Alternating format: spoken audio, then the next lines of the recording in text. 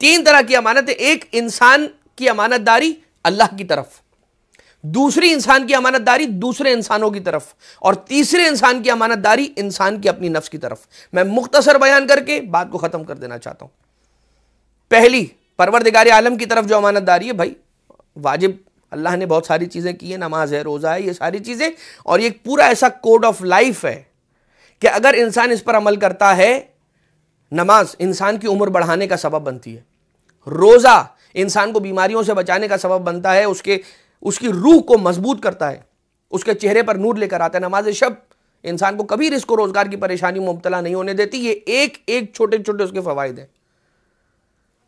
तो परवरदिगार आलम की जानब जो उसके हुकूक की अमानतदारी है, उसके जो जानब हमारी अमानतदारी बनती है, उसको अदा करना। दूसरा, इंसान की अमानतदारी दूसरे इंसानों की तरफ़।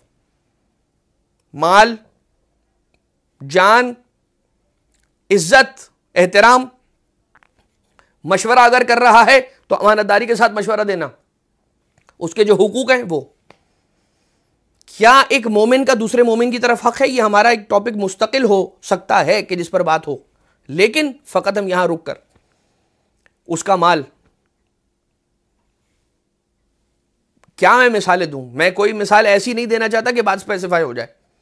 लेकिन किसी एक वादे के नाम पर आपने पैसे लिए और उसके बाद उसी रात की फ़्लाइट ली और शहर छोड़कर, मुल्क छोड़कर चले गए। वो साहब कहाँ गए? कहा, वो फुला से पैसे लिए थे, फुला से लिए थे, फुला से लिए थे, कोई पंद्रह बीस लोगों से, कोई बहुत सारे पैसे जमा किए तो वो समझ रहा है बहुत सारे। कितने दिन तक चलेंगे वो पैसे? लेकिन वो अगली फ़्लाइट लेकर निकल गए। गायब हो गए। अच्छा माल की अमानतदारी, जान की अमानतदारी, किसी के साथ ऐसी कोई बात न करना कि उसकी जान खतरे में आ जाए। आ जाइए, किसी ने मशवरा किया। अब मेरा दोस्त है, मुझसे मशवरा कर रहा है क्लास में कि मैं यार कौन सी किताब पढ़ूं, कौन सी किताब ना पढ़ूं। अब मेरे जहन में आया, इसने मुझसे मशवरा किया। चलो, मैं उसको बता देता हूँ कि फुला किताब पढ़ो, लेकिन मसला ये होगा कि अगर मैं अमानतदारी के साथ मशवरा दूँगा तो वो आगे निकल जाएगा। खौफ खौफ, एक खौफ पैदा हो रहा है मेरे दिल में। और वो क्यों मेरे मुझसे आगे निकल जाए? लिहाजा मैं उसको सही मशवरा नहीं देता। गलत बात है अमानतदारी नहीं खयानत है।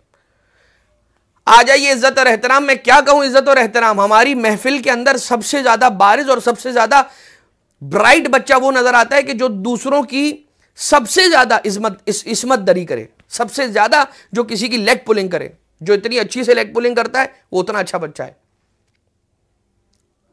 हरमतुल मोमिन अफजल मिन हरमतिल काबा। काबे की हरमत से अफजल है मोमिन की हरमत ये बात याद रखिएगा। तो ये अमानत है। अब आ जाइए, मैंने बात को मुख्तसर किया। इंसान की अमानतदारी इंसान की अपने नफ्स की तरफ़।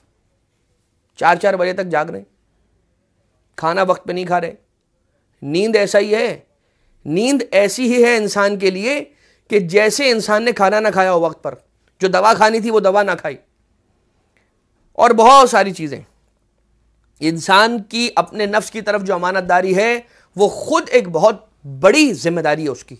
और उसी के अंदर फिर आ जाती है दोबारा वो बात जो खुदा के हुकूक से लिंक होती है कि वो हुकूक के जो इंसान के दूसरे इंसान पर हैं, वो भी अदा करे और जो इंसान के परवरदिगार आलम की तरफ़ है, उन्हें भी अदा करे।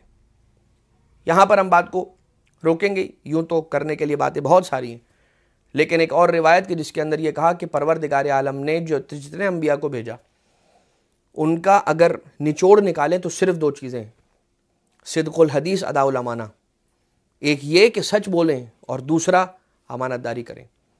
इस दुआ के साथ के परवरदिगार, हम सबको अपने वादों को वफा करने की तोफ़ी इनायत फरमाए। और जो अमानतें हमारे पास हैं, जो हमारी ज़िम्मेदारियाँ हैं, उसे अदा करने की तोफ़ी इनायत फरमाए रसूल पर भी। जो अमानतें थीं और उनकी जो अमानतदारी की फरीज़े थे, उन्होंने कैसे बखूबी अंजाम दिए? बल्लगमा उनजिला का मेर रबिक अली को हाथों पर उठाकर अली को मौला बनाया, मनकुंतों का ऐलान किया और उसी हदीस, उसी गदीर के दिन जो रसूल ने खुतबा इरशाद फरमाया, उसमें और दो अमानतें हमारे सुपुर्द की जाते जाते। क़ुरान और अहल बैत, इतरत अहल बैत, ये वो अमानतें थीं जो रसूल के पास थी, हमारे लिए रसूल देकर गए। खुदा हमें तोफ़ी नायत फरमाए कि हम रसूल की दी हुई अमानतों को, के साथ जुड़े रहें, उनसे मुतमसिक रहें।